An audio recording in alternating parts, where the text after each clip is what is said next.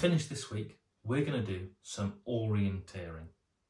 This will allow children to explore around their homes and achieve goals and puzzles whilst they do it. There's a few ways that you can go about this, and we're going to show you just a few. So, pay attention and take the ideas and use them where you wish. We're going to put these five milk bottles around the house. We're going to write letters on them, and these letters in turn will help spell out a word. So, it's up to you where you put these in your house. Once you have done this, you can then make a map and some instructions for your children to follow. We've got our map and our instructions.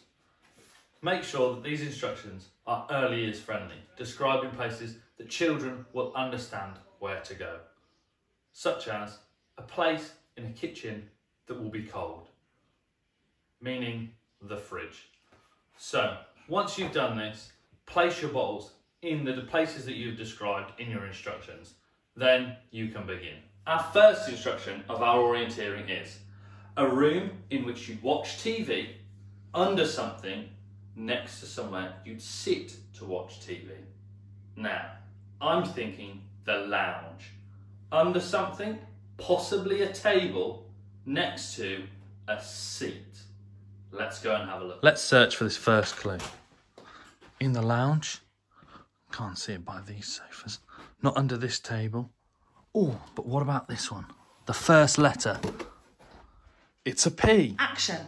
Our second instruction is in a room where food is prepared next to something that is cold. Now, a room where food is prepared, I'm saying kitchen, somewhere cold. The fridge. So, we're in the kitchen next to something cold. Not in the fridge. Oh, here we are. It's an O. Let's write that on our map.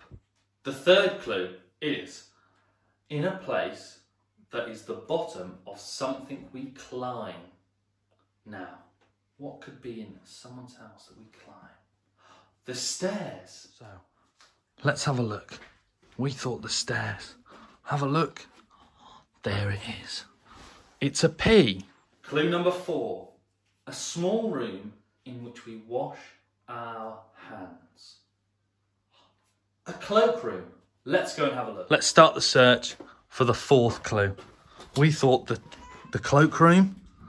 We found it on the floor. It's a Y. The final clue.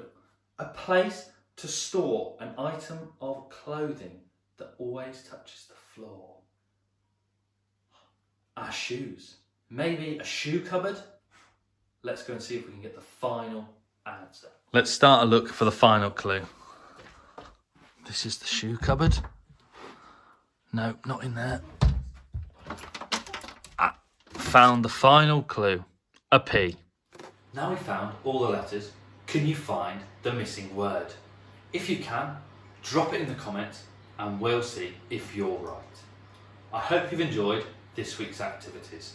Stay tuned with more early years activities coming up next week.